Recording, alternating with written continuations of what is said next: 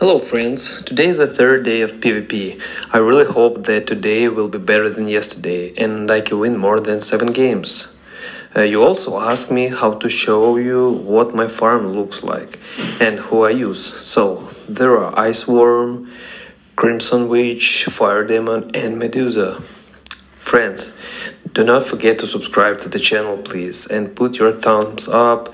It costs nothing for you, but for the channel it is very very helpful. Well, we're starting now.